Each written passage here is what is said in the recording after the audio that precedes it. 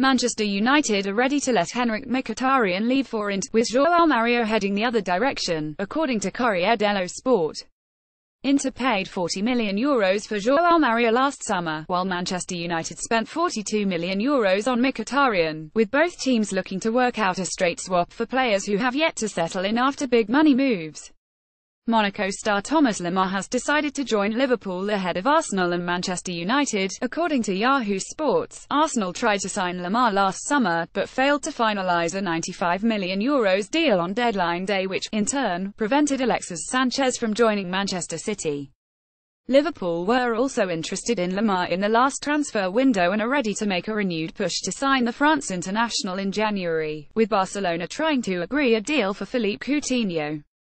Manchester United have also been linked with Lemar, but the winger has decided he wants to join Liverpool and he could become the replacement for Coutinho at Anfield. Manchester United manager Jose Mourinho wants to sign three players during the January transfer window. According to the Mail Online, Mourinho is keen to strengthen his squad in the coming weeks and has identified the areas where he is demanding fresh faces. Agents have been alerted to United's desire to sign a right-back, left-back and attacking midfielder as Mourinho tries to address ongoing issues within his squad. Augsburg left-back Philipp Max is keen on a move to the Premier League but doesn't expect to change clubs in the January transfer window. Manchester City, Manchester United and Liverpool have all been linked with an approach for Max, who is under contract at Augsburg until 2022. The 24-year-old said, I have a contract with Augsburg. In football, you can never rule anything out but I firmly believe that in the second half of the season, I will play for FCA. Read the full story on goal.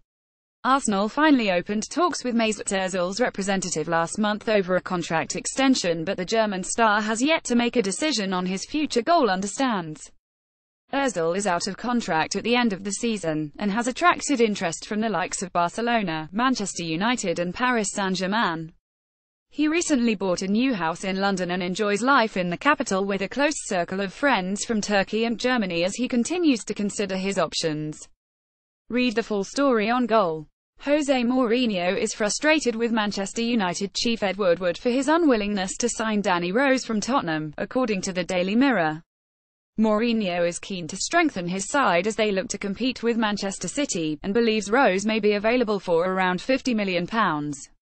However, Woodward has told Mourinho that he will either have to sell players first or wait until the summer, much to the chagrin of the Portuguese.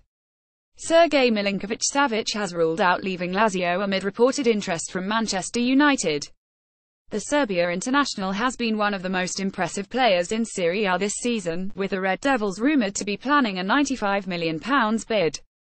Paris Saint-Germain also keen, but the 22-year-old insists he does not want to leave Rome. Read the full story on goal. Paris Saint-Germain are close to completing a move for former Chelsea and Arsenal midfielder Lassana Diarra, according to SFR Sport. The France international had his contract at Al Jazeera cancelled in December, with Manchester United and AC Milan among the clubs keen on signing him. But Diarra is now in advanced talks with the League One leaders, with the deal set to be completed before the end of the week.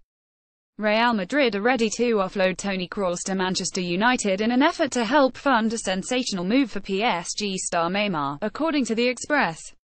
Madrid want Neymar to be the long-term replacement for Ronaldo, though the club will have to comply with FFP, and even the sale of Gareth Bale may not be enough to meet the regulations, with the German tabbed as the additional fall guy. PSG and Manchester City are also being tabbed as potential buyers for Kroos. Manchester United goalkeeper Sergio Romero wants to leave Old Trafford in the January transfer window, according to The Independent. The Argentina international is concerned he will miss out on the World Cup if he is not playing regular football. Sources close to the player suggest he has received offers from Spain and Argentina, as well as from elsewhere in the Premier League. Matteo Darmian has attracted interest from Serie A clubs but Manchester United do not want to sell the defender, according to his agent. The Italy international has been linked with a move away from Old Trafford in the transfer window, having managed only two starts in the Premier League this season.